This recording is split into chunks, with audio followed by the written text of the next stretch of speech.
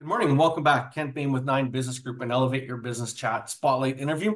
Uh, we have Jenn, Jenn joining us today. Jenn, please introduce yourself, uh, first and last name, and more importantly, your company, what you guys do and what sets you apart from your competition. Welcome.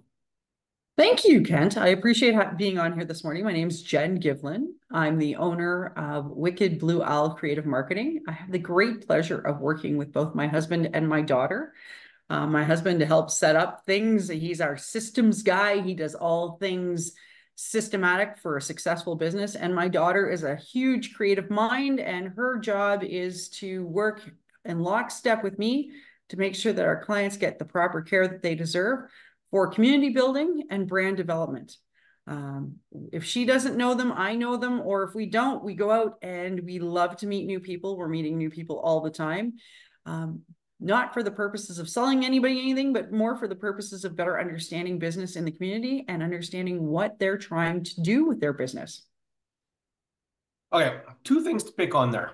Let's start with what does it mean for you to be a community builder? And can you just give us some examples of why you've put and make that a big part of your business, why it has been a big part of your business, and why it's still a big part of your business going forward? Well, so I love to understand what a business is, but really what their motivation for going into business was.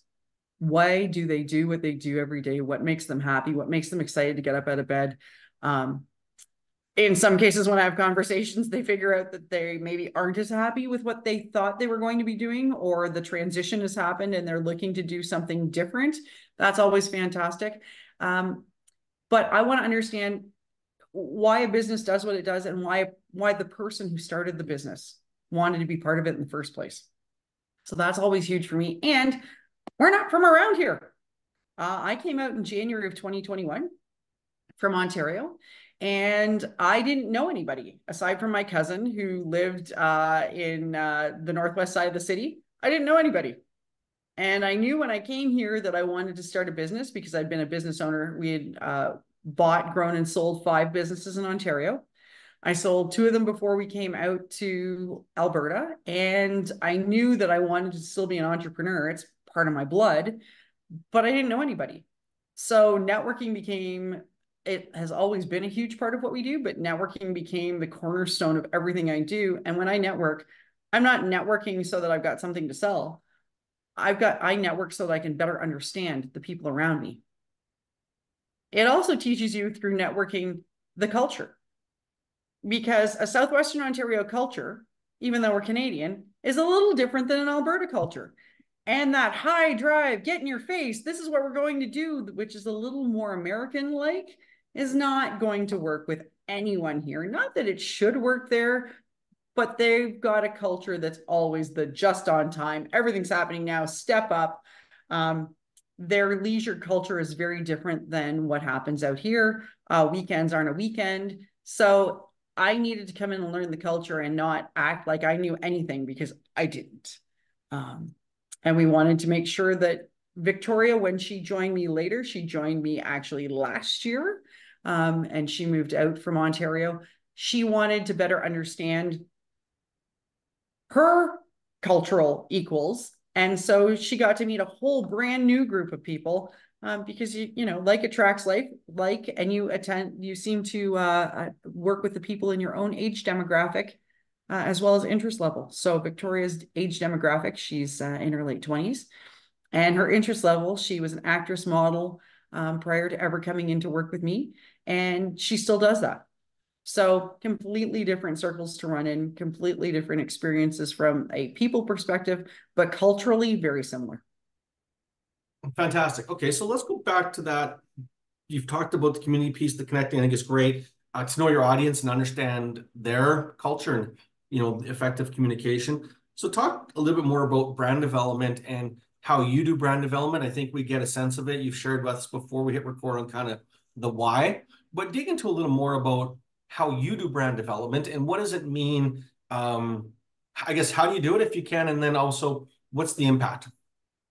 So there, there are very few unique industries where there's one person in it and there's no one else. And branding in that situation is education. We have to educate everybody on what you do because they've never heard of it before and they wouldn't understand what you were talking about until you get an education campaign out that out there.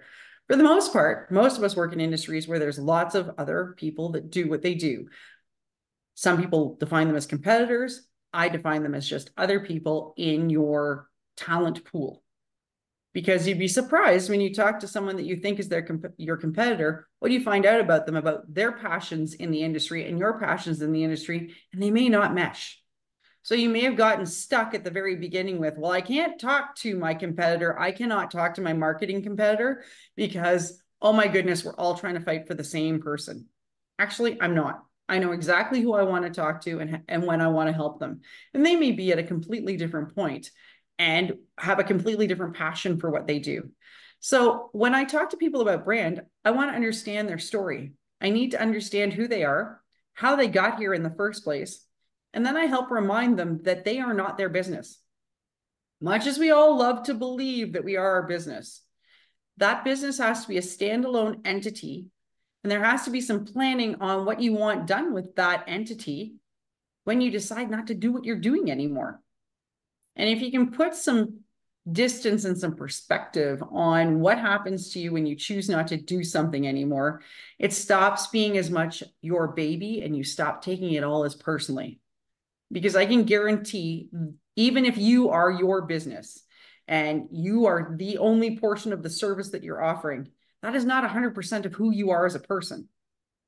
I'm sure you're not bringing Moody Monday Jenn out to talk to people when you're doing your business.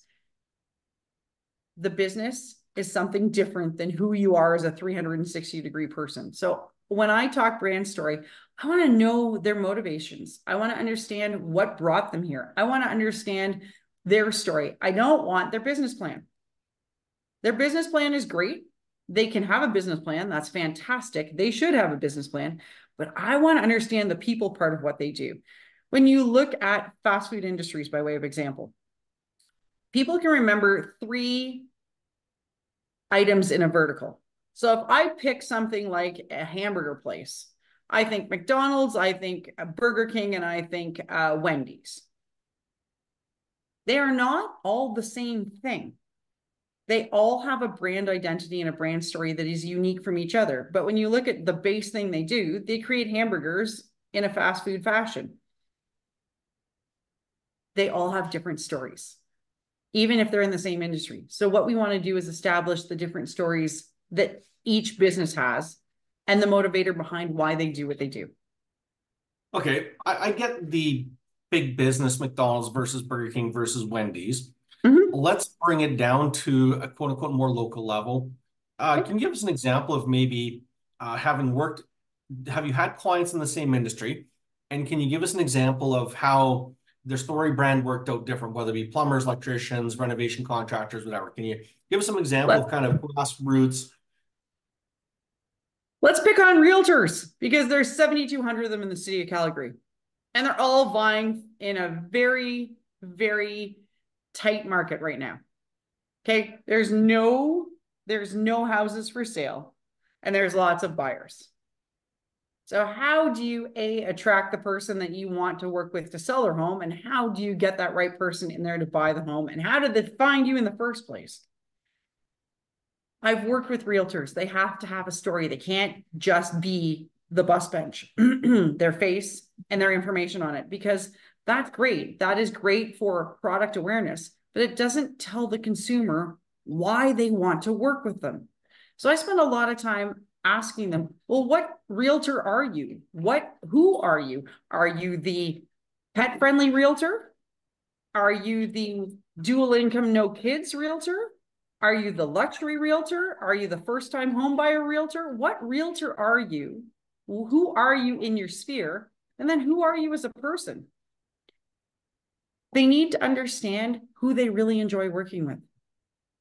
And so I want them to tell me who they don't like to work with. And that's business owners always say, oh my goodness, I'll work with anybody. Yeah, I will too.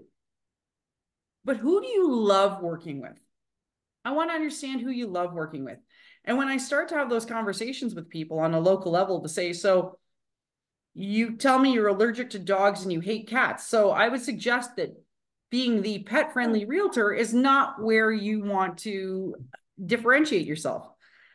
Or, you know what? You like kids, but you're not the guy who's going to drive around with coloring in your car and markers, and you want the kids to be occupied in a different fashion before you're taking people through.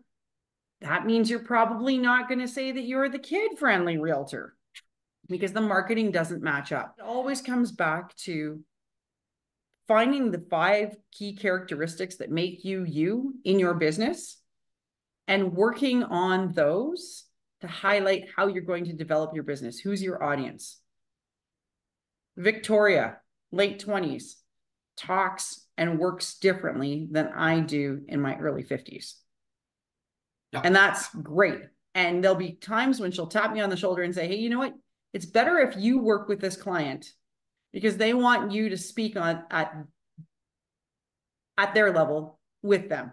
And I turn around, look at her and go, you know what? Better for you to talk to this client over here because they're looking for someone younger, generally generationally that has a different perspective on things. But knowing that is super helpful. It means that we can bring the best opportunity to our clients all the time because we tailor our conversations to the people that we're talking to. So we're not talking to the wrong people. Businesses spend a long time at the beginning talking to the wrong people because anybody's the right customer. Isn't that the truth? So as you look back now, you've been in Calgary three, four years. You got mm-hmm. quote unquote a business is a going concern. Um, if there was a pirate, a thief in your business, what would they be stealing from you? As we tailor our time. Why so? Well, if I don't, and it's it's my own beef. I, if I don't stay focused on the task at hand, in 2024, I had to come to the conclusion that there were two things I need to efficiently do in my business.